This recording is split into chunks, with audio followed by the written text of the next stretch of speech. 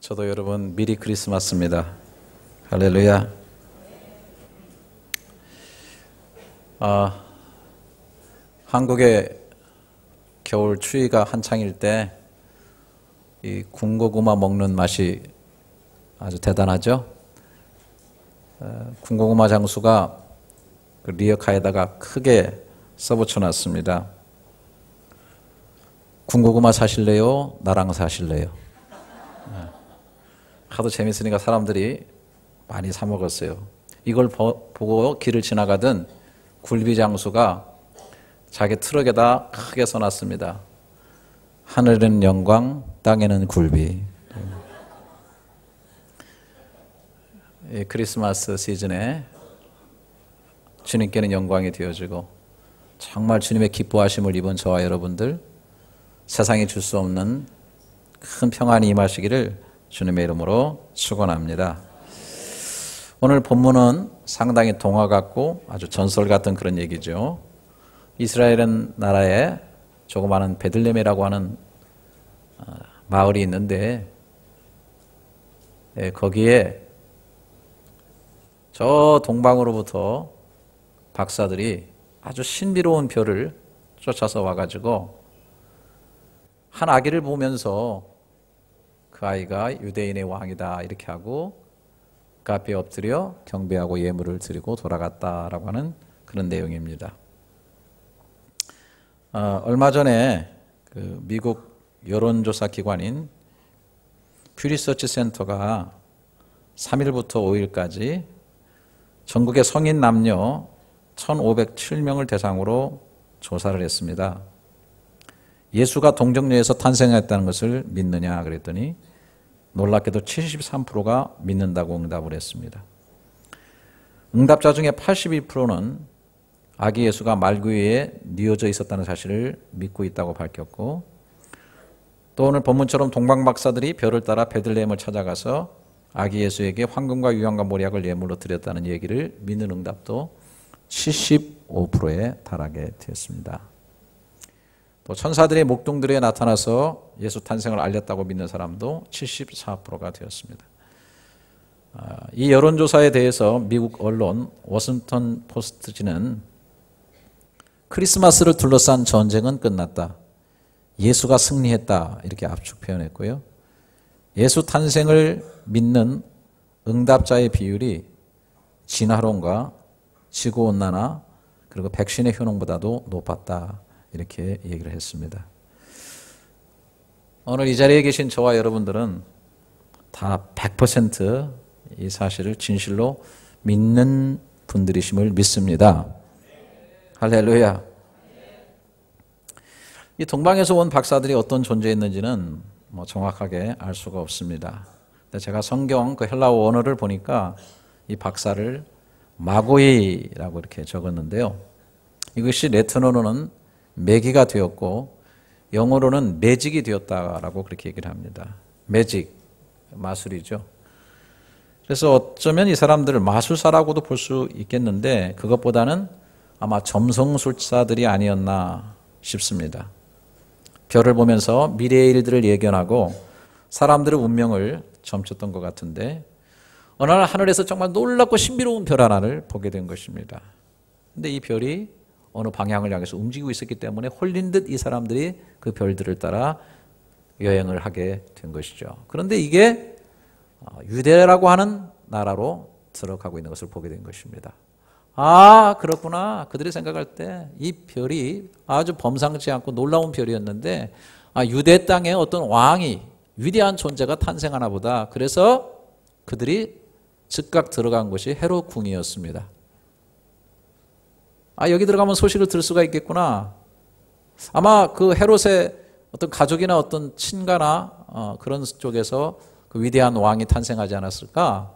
그래서 에, 가서 헤롯 왕에게 유대인의 왕으로 나실 리가 어디서 납니까? 라고 질문을 던지게 된 것입니다.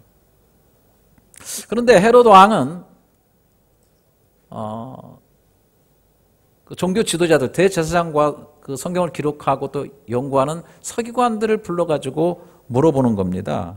이 사절에 보면 왕이 모든 대제사장과 백성의 서기관들을 모아서 그리스도가 어디서 나겠느냐 물으니 아, 뭐 자기 그 어, 가족이나 문중에서 그렇게 뭐 별 따라 올 만한 그런 엄청난 사람이 나타났다고는 생각지 않고 있기 때문에 그는 아마 그렇게 해석을 했던 것 같아요.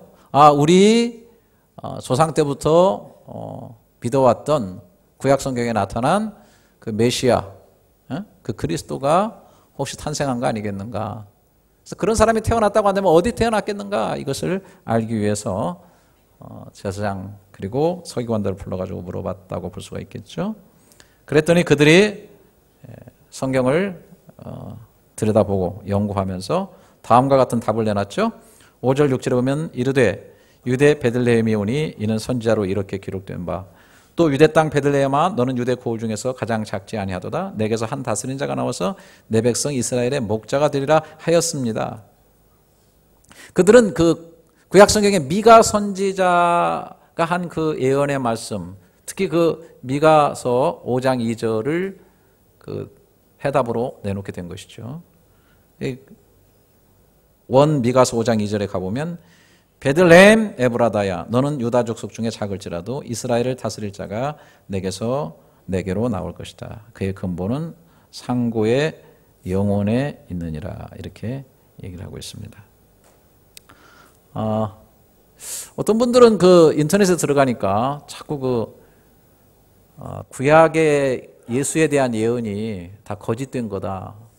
그냥 그 뭐 지푸라기 잡는 거 몇 가지 가지고서 자꾸 예수한테 들이댄다라고 얘기를 하면서 이 구절도 베들레헴이라고 하는 내용은 전혀 없고 에브라다야라고만 성경 원문에 있다라고 아주 장문에 누가 글을 썼는데 제가 그래서 또 히브리어 원전을 제가 찾아봤어요.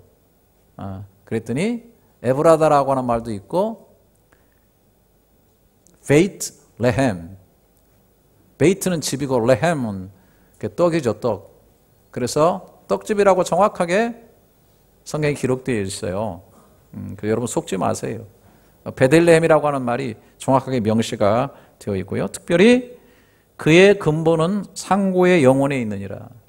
예. 제가 원문 그대로 다 찾아보니까 근본에 그 먼 옛날 혹은 영원한 이렇게 되어 있습니다. 그래서 어, 베들레헴에 오는 그 이스라엘 다스릴 목자로 오는 바로 그분은 그 뿌리 자체가 어떤 인간적인 존재가 아니라 영원한 존재, 하나님적 존재임을 정확하게 얘기하고 있다라고 하는 것입니다. 그래서 어, 이분들이 베들레헴에서 그분이 날 것입니다라고 얘기를 한 것입니다. 자, 여기서 보게 되면 어, 이방인들인 그 동방의 박사들은 그들이 말하는 것처럼 그의 별을 보고 우리가 찾아왔습니다. His star. 그의 별을 보고 그래서 그 비추이는 별을 보고 찾아왔어요. 그런데 오늘 이 대제사장과 그리고 서기관들은 성경을 보고 하나님의 말씀을 보고 베들레헴이라고 찾아내게 되는 것입니다. 다시 말해 하나님의 백성인 이스라엘 백성들은 다른 것이 아니라 성경을 볼 때 그 성경이 예수 그리스도의 별이 되어서 예수 그리스도를 가르쳐 주고 있다라고 하는 것입니다. 사실 이것을 우리가 전체적으로 좀 해석을 해보면은 우리의 삶 가운데서 어두운 가운데 있을 때 어떤 질문들을 가지고 성경으로 뛰어 들어가 보면 거기에 분명히 우리를 인도하셔 비추어 주시는 빛이 있는데 그 별이 비추면서 분명히 끌고 가는 것은 예수 그리스도로 끌고 간다고 하는 것입니다. 결국 그리고 그 예수 그리스도가 그 모든 일의 해결자시오. 그 문제를 다 해결하시는 그런 분이라고 하는 사실을 가르쳐 주고 있다고 하는 사실입니다. 예를 들어서 아담과 하와를 타락하게 한 이 사탄의 존재, 지금도 공중 권세를 잡고 있는 존재, 그 존재를 어떻게 하면은 패배케 하고 그 존재로부터 승리하게 될 것인가? 구약을 들여다보면 그거에 대한 별이 비춰지고 있다고 하는 사실입니다. 잘 아시는 대로 창세기 3장 15절에 하나님께서 내가 너로 여자와 원수가 되게 하고 내 후손도 여자의 후손과 원수가 되게 하리니 여자의 후손은 내 머리를 상하게 할 것이요 너는 그의 발꿈치를 상하게 할 것이다. 여자의 후손이 오면은 길이 있다.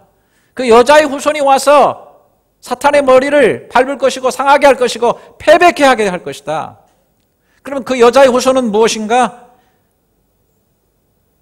제가 원문을 보니까 자레 아흐라고 되어 있는데 그녀의 후손 이렇게 되어 있습니다.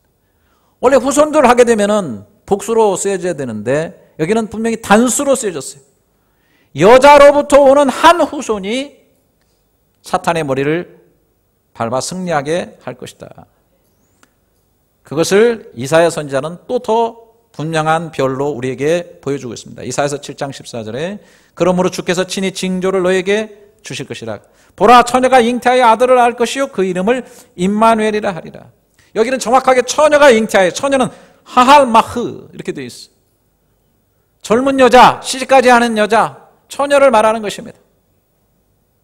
처녀가 아들을 낳을 것인데 놀랍게도 그 이름이 임마누엘일 것이다. 여러분 시브리어의 임마누엘이라고 하는 뜻은 임마는 함께 한다는 뜻이고 누는 우리와 엘은 엘로힘 하나님을 가리키는 것입니다.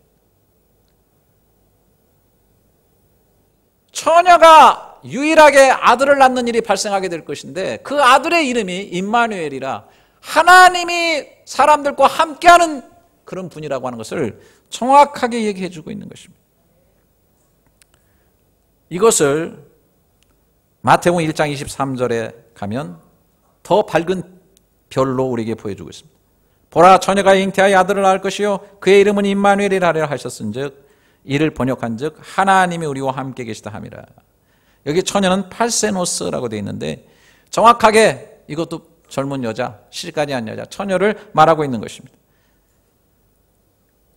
이 사야의 내용을 그대로 인용을 했습니다. 그대로 인용했는데 그의 이름을 임마누엘이라 하리라 하고 이를 번역한 즉 하나님 우리와 함께 계시다. 지금 신약은 헬라어로 쓰여졌기 때문에 히브리어로 쓰는 유대인들은 다 알아요. 그냥 임메누엘 하면 그 자체가 하나님 우리와 함께 하시다는 말 그 자체예요. 이거 해석할 필요가 없는데 헬라어로 해석하면서 헬라어로 얘기하면서 그걸 인용해 오다 보니까 헬라 사람들은 헬라어로 들은 모른단 말이에요. 그래서 임마누엘이라고 이름을 그대로 직시하고 히브리 말로 그대로 발음을 하고 그리고 이를 번역한즉 which means God with us. 하나님이 우리와 함께 하시는 그런 뜻이다라고 거기다 친절하게 번역을 해놨다 그 말이에요. 계속해서 이사야 선자를 통해서 우리에게 빛을 비춰줍니다. 이사야서 9장 6절에 이는 한 아기가 우리에게서 낳고 한 아들을 우리에게 주신 바 되었는데 그 어깨에는 정사를 메었고 그 이름은 기묘자라 모사라 전능하신 하나님이라 영존하신 아버지라 평강의 왕이라 할 것입니다. 저는 이 구절을 읽으면 읽을수록 야 이거 정확하게 어둠 속에 빛나는 별처럼 우리에게 정확하게 알려주고 있구나. 한 아기가 나는데 뭐 정사를 메었고 기묘자 묘사 그 이름이 뭐냐면 전능하신 하나님이라는 거. 어떻게 아기에게 전능하신 하나님이라는 이름이 붙여질 수가 있으며 영존하신 아버지라 평강의 왕이라 할 수 있겠는가? 만약에 단순히 그리스도가 메시아가 베들레헴에서 난다고 하는 것뿐만 아니라 이 제사장들과 이 서기관들이 좀 더 깊이 있게 그의 별들을 쫓아서 그 말씀의 별들을 쫓아서 계속 집중하고 추적했다고 한다면 바로 이 아기가 이 땅에 오시는 영존하시는 하나님이시요. 인간과 함께 하시는 하나님이심을 분명하게 발견했을 텐데. 동방에서 온 박사들은 자연적인 그의 별 하나 바라보고 그 신비함에 쫓겨서 와가지고 메시아 되신 예수를 만나게 되었는데 더 정확한 성경에 그의 별들이 반짝이고 있는데도 불구하고 그들은 거기서 중단해버리고 더 이상 나아가지를 못했어요. 만약에 그들이 추적해서 계속 갔다고 한다면 거기에서 요셉도 만났을 것이고 마리아도 만났을 텐데 요셉의 얘기도 들었을 때 요셉이 아이고 나가 약혼했는데 이 마리아가 갑자기 배가 불러가지고 저는 정말 정신을 차릴 수 없었습니다. 어떻게 남녀 관계도 없었는데 이게 배가 불러가지고 애를 임신했는지. 그래서 조용하게 낙태를 시키려고 했는데 천사가 나타나지 않았겠습니까? 저에게 말씀하시기를 절대로 손대지 말아라. 저의 이름을 예수라 하라. 이는 저가 저의 백성을 죄에서 구원할 자임이라 얘기하시면서 그가 바로 선지자에게 기록된 그 말씀대로 온 자라. 선지자가 뭐라고 말씀했느냐? 오늘 그 말씀을 해주는 것입니다. 보라, 처녀가 잉태하여 아들을 낳을 것이 그 이름을 임마누엘이라 하라 하셨은즉 이를 번역하면 하나님 우리와 함께 하십니다. 말씀을 계속 추적해 보면 이 땅에 오신 하나님을 만날 수 있고 발견할 수 있을 텐데 거기서 그냥 중단돼 버렸어. 얼마나 안타까운지 모릅니다. 사탄은 예수 그리스도에게 패배하고 종말을 고한다 하지만은 그 사탄에 물려서 죄의 바이러스가 침투한 우리들 마치 에이즈가 들어오면은 결국엔 죽게 되는 것과 마찬가지로 우리 속에 죄라고 하는 것이 침투되어서 결국 사망에 이르게 된 우리의 운명은 이 어두움은 이 고통은 어떻게 해결해야 되겠는가? 계속해서 말씀을 볼 때 우리에게 별빛을 우리에게 보여줍니다.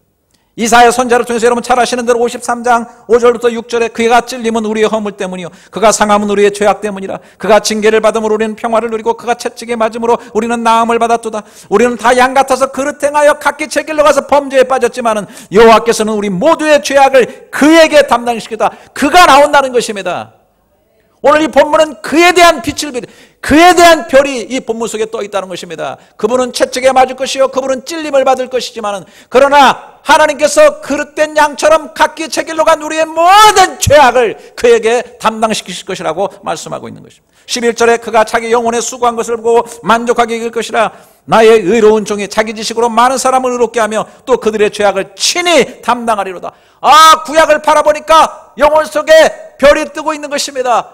우리의 죄를 담당할 자가 있구나. 우리를 의롭다고 할 수 있는 그가 있구나. 라고 하는 사실을 발견하게 되는 것입니다. 그래서 우리는 이 별을 따라서 계속 행진하게 될 때 요한복음 1장에서 세례 요한이 어떤 젊은이가 다가오는 것을 바라보면서 보라! 세상 죄를 지고 가는 하나님의 어린 양이로다.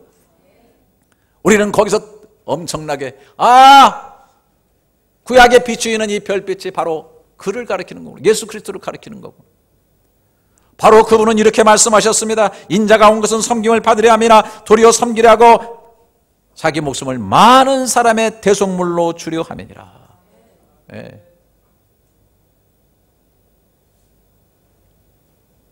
구약의 별빛을 따라가면서 예수 그리스도를 만나게 되고 결국 갈라디아서 1장 4절에서 그리스도께서 하나님 곧 우리 아버지의 뜻을 따라 이 악한 세대에서 우리를 건지시려고 우리 죄를 대속하기 위해서 자기 몸을 주셨다.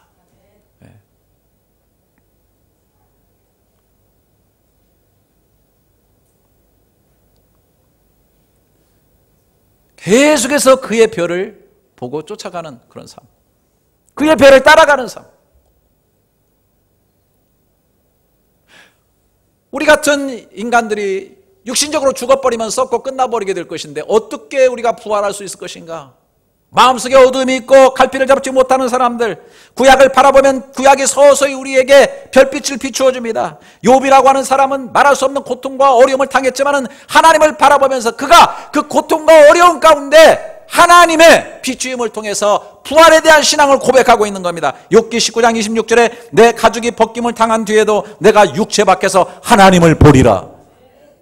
아, 육신이 벗겨지고 이 육신의 장막을 다 떠나게 될 때도 내가 이 육체 밖에서 하나님을 보겠다고 하는 정확한 부활의 신앙을 얘기하고 있는 것이다. 아, 이게 가능하구나. 부활이 가능하구나. 나는 죽어서 죽는 것이 아니라 내가 육체를 벗어버리는 그 순간 내가 육체 밖에서 하나님을 보게 될 것이다. 아브라함도 마찬가지 아닙니까?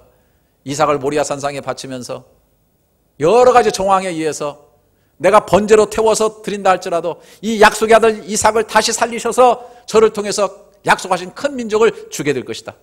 히브리서에서 신약에 오면 정확하게 아브라함이 부활 신앙을 가지고 있었다고. 야, 부활이라고 하는 이 별빛이 뜨고 있는 것입니다. 시편 16편에도 이 시편 기자를 통해서 영감을 주십니다. 10절 11절에 이는 주께서 내 영혼을 수월히 버리지 아니하시며 주의 거룩한 자를 멸망시키지 않으실 것임이니이다. 주께서 생명의 길을 내게 보이시리니 주의 앞에는 충만한 기쁨이 있고 주의 오른쪽에는 영원한 즐거움이 있나이다. 그 멸하지지 않는 생명, 부활의 생명, 생명길로 가는 이 모든 길들을 얘기해 주고 있는 것입니다. 이 별빛을 쫓아서 쫓아서 가다 보면 우리는 놀라운 곳에 이르게 되는 것입니다. 요한복음 11장에 예수분이 이렇게 말씀하셨습니다. 25절 20절 예수께서 이르시되 나는 부활이요 생명이니 나를 믿는 자는 죽어도 살겠고 무릇 살아서 나를 믿는 자는 영원히 죽지 아니하리니 이것을 내가 믿느냐? 그 별빛을 따라가다 보면 부활이신 예수를 만나게 되는 거예요. 거기서뿐 아니라 부활의 가능성이 있는 나를 만나게 되는 것입니다. 할렐루야. 나를 믿는 자는 부활하게 된다고 하는 사실. 그리고 그 별빛을 끝까지 따라가다 보면 마태복음 28장 6절에 그가 여기 계시지 않고 그가 말씀하신 대로 살아나셨느니라 와서 그가 누우셨던 것을 보라라고 말씀합니다. 부활의 현장까지 예수 그리스도의 부활의 현장까지 그 별빛이 안내할 뿐 아니라 그 예수 부활을 믿게 돼서 변화된 바울이라든지 동생이었기 때문에 예수를 믿지 못했던 예수의 동생 야고보가 어떻게 놀랍게 변화되었는가 부활의 열매와 증거들까지 정확하게 그 별이 안내를 해주고 있다는 사실입니다. 할렐루야.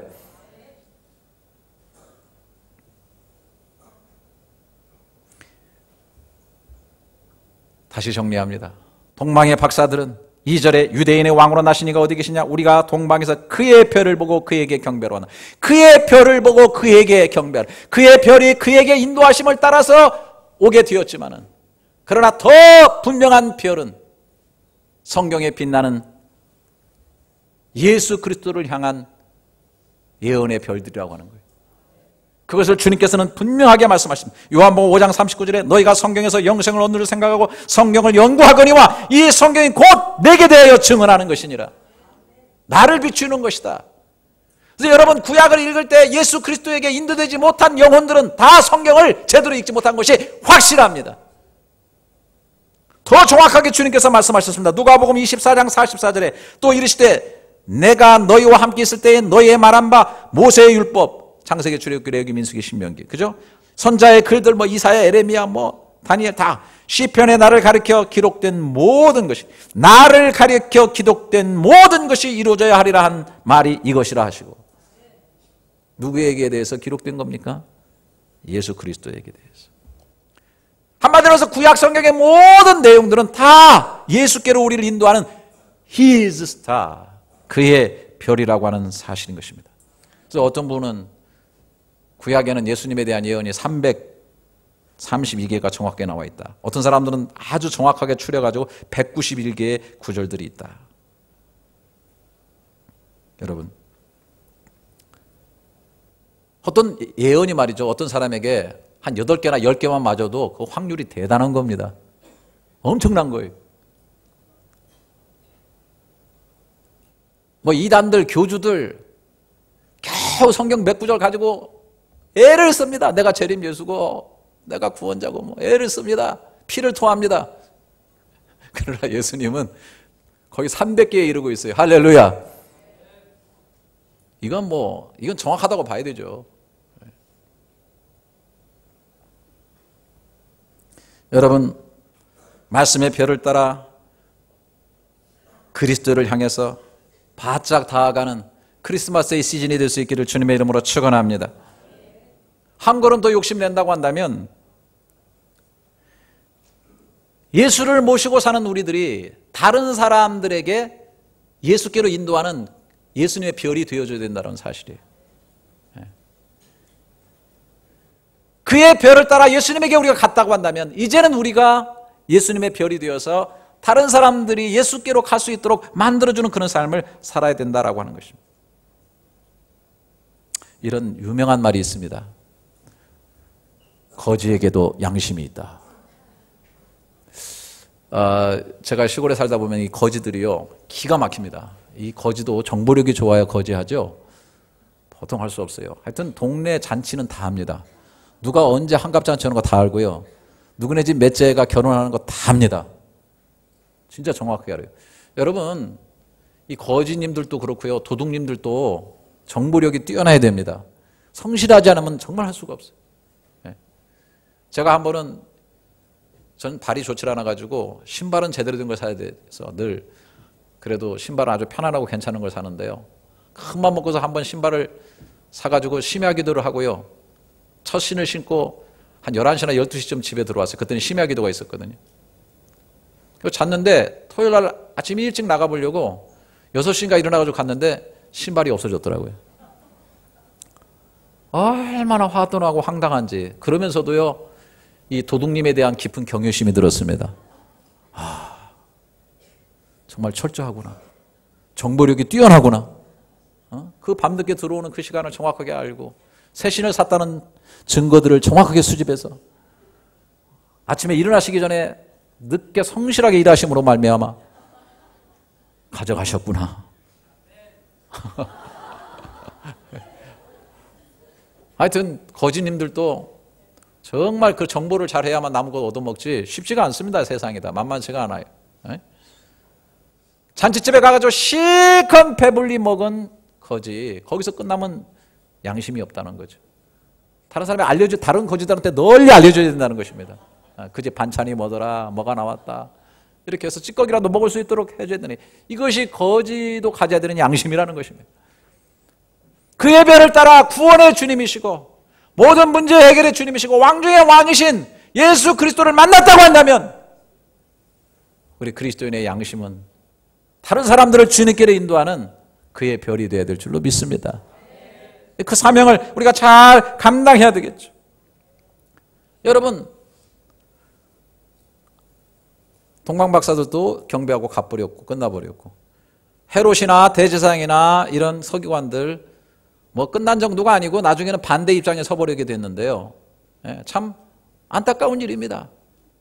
그런데 마태는 어떻게 했습니까? 이 글을 쓰고 있는 마태는 구약의 내용들을 조사하고 별들이 그가 그래서 마태복음 1장에 마태 갔을 때 족보부터 쫙 썼습니다. 아브라함을 통해서 비춰진 그 별빛, 다윗을 통해서 비추어진 별빛, 이 수많은 별빛들을 통해 가지고 예수 그리스도를 보게 되는 것입니다. 약속하신 그분이라는 것을 알게 되는 것입니다. 세관에 앉아 있을 때 예수께서 너는 나를 따르 했을 때 모든 것을 다 버려두고 예수를 쫓아갔습니다. 그는 도를 쫓아갔던 사람이었습니다. 권력과 명예를 쫓아갔던 사람이었어요. 수전노라는 소리를 들으면서 이스라엘 사람들 가운데 3대 죄인, 공식적인 죄인, 그 중에 하나, 세리. 그런데 그가 그 모든 것을 버리고 예수님을 쫓습니다. 그뿐이었습니까? 그는 때때로 성경에 보면 큰 잔치를 베풀었습니다. 있는 돈을 가지고 많은 사람들을 초대해서 예수님과 함께 만찬을 베풀었습니다. 저는 세 가지 이유가 있다고 생각해요. 하나는 주님 너무 고맙습니다. 나 같은 일을 구원해 주시고 나를 불러 주셨으니 너무너무 감사합니다. 너무 감사하기 때문에 많은 사람 불러서 접대하며 감사를 표현하고 싶었을 거예요. 두 번째는 내가 이제는 세상 사람들에 속한 사람이 아닙니다. 나는 이제 돈에 속한 사람이 아닙니다. 쓸데없는 무리 속에 속한 사람이 아니라 나는 예수께 속한 사람입니다. 그 식탁에서 같이 먹고 마시면서 자기 소속을 분명히 하기를 원했을 것입니다. 하나 더 있다고 한다면 자기가 있는 재물을 통해서 많은 사람들을 초대해서 예수님과 함께 먹고 마시면서 대화를 나누게 함으로 예수를 알게 하고 예수를 믿게 하려고 하는 그런 의도가 있었을 것이라고 믿습니다. 그의 별이 되고자 했던 것이죠.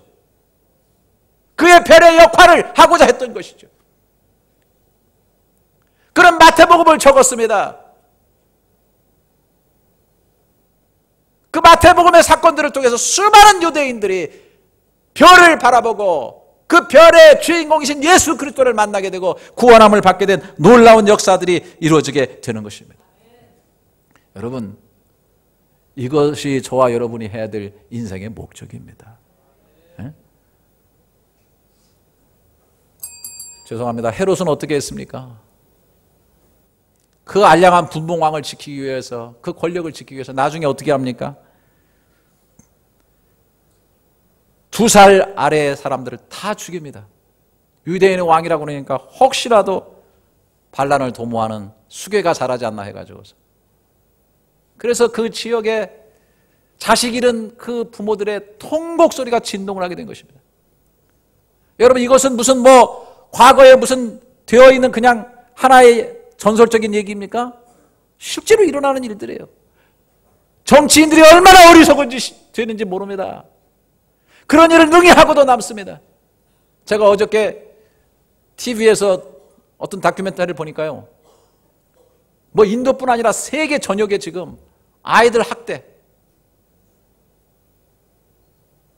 빚을 진 부모들이 이제 3살, 4살, 5살 된 애들을 공장에다 다 팔아먹고 농장에 팔아먹고 해가지고요. 그 현장을 취재하는데 제가 그냥 보다가 끄고 들어갔어요. 볼 수가 없더라고요. 막 화학약품이 막 섞여 있어가지고 막 뿜어나오는데 마스크도 쓰질 않고 그거를 막 뿜어대면서 치료를 하고 있고요. 막 돌멩이를 깨고 있는데 막 손이 깨지면서 돌멩이를 깨고 있는 처참한 아이들. 다 이것이 인간의 욕심 돈 때문에. 얼마나 세계 갑쳐요. 제가 그냥 정말 화가 나. 뭐, 하나님, 하나님 살아계십니까? 하나님 계신 거예요. 너무 고통스럽더라고요. 헤롯은 더 잔인한 사람이었어요. 다 두 살배기 이하의 애들을 다 죽여버렸어요. 인생의 목적이 없습니다. 오직 명예와 권력 그거밖에 없습니다. 그리스도가 나셨다고 하는데도 불구하고 잠시 후에 썩어져 버릴 영혼을 위해서 그런 짓을 하는 것이 바로 인간인 것이. 누구 욕할 게 없어요.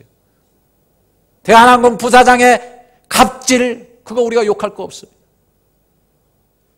다 인생의 목적을 제대로 갖지 못하고 수단이 목적이 되면 다 인생 그렇게 됩니다. 여러분 얼마 전에 그 뭐 슈퍼 개미 주식 투자라 가지고 300만 원 투자해 가지고 100억을 번 사람 30대인데 복시라는 사람이더라고.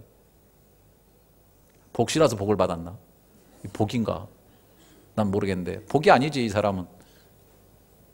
그래가지고 뭐 인터넷에서 나와가지고 어떻게 하면 이렇게 떼부자가 될 수 있는가 강의도 하고 뭐 한때 이름을 날린 모양인데 술을 먹고서 여 종업원을 맥, 맥주 병으로 머리를 때려 부시고 그 다음에 그 경찰들이 끌고 가니까 막 발로 경찰에 낭심을 차고 예.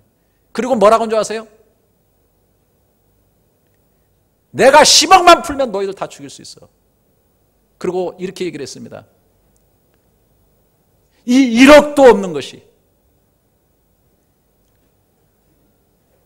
뭐라 그러지? 당장 1억도 없는 것들이 나이만 먹어서. 뭐 저한테도 그랬겠죠. 근데 평생 목사질에서도 나이만 먹고 1억도 없는 것이. 아마 저 같았어도 목사이가 딱 뛰고서 진짜 뒤돌려 차이가 바로 나가면서 앞차 부수기로 그냥 바로 들어갔을 겁니다. 저 아직도 그럴 수는 있거든요. 네, 술 먹은 30대 정도는 그냥 쓰러뜨릴 수 있어요, 진짜. 이야, 정말. 어찌 그런 갑질을 하며 산대요? 여러분, 헤롯은 그런 인생의 대명사입니다. 히즈 스타가 되지 못하면 스스로 스타가 되려고 하면서 스스로 타락하는 그런 존재가 될 수밖에 없는 것이 인생이라고 하는 거 여러분 처절하게 생각해야 됩니다. 세상의 스타는 그런 걸 스타예요. 왜 돈 봅니까? 왜 좀 높아지려고 합니까? 갑질하려는 거 아니에요?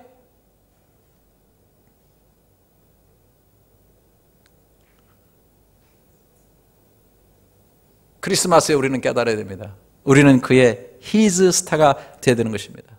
이게 정말 세상의 스타 되는 길입니다. 할렐루야. 다니엘이 뭐라고 말했습니까? 다니엘서 12장 2절부터 3절에 땅의 티끌 가운데서 자는 자들 가운데 많은 사람이 깨어나 다 나중에 깨어나게 될 거다. 영생을 받는 자도 있고 수치를 당하여 영원히 부끄러운 자도 있겠다. 인생 이렇게 갈리게 돼 있다고 다니엘은 정확하게 얘기해 주고 있는 것입니다. 3절 정말 지혜 있는 자는 궁창의 빛과 같이 빛날 것이요 많은 사람을 옳은 대로 돌아오게 한 자는 별과 같이 영원토록 빛나리라. 여러분 이것에 대해서 욕심을 좀 내시기 바랍니다. 예? 이걸 위해 사는 거예요. 저도 그걸 위해 사는 겁니다. 좀 더 많은 사람을 옳은 곳에 돌아오게 하는 이것이 바로 하늘의 궁창에 빛나는 별과 같은 그런 존재가 된다고 하는 것입니다. 저는 오늘 크리스마스 시즌에 여러분들에게 꼭 마지막 도전하고 싶습니다. 끝까지 잘 들으셔서 너무 감사하고 이 크리스마스 때는 빛이 많습니다. 휘황찬란한데요. 이 빛을 볼 때 이 빛을 따라서 반드시 그리스도에게로 여러분의 마음의 중심이 가는 역사가 있기를 축원합니다. 그리고 나도 그리스도를 비추게 되는 그리스도에게로 인도하는 그런 빛의 삶을 이 세상에서 살아가면서 그의 스타로 살아가겠다. 히즈 스타로 살아야 되겠다라고 하는 그런 믿음과 마음을 가지고 꼭 살아갈 수 있는 저 여러분이 될 수 있기를 주님의 이름으로 축원합니다.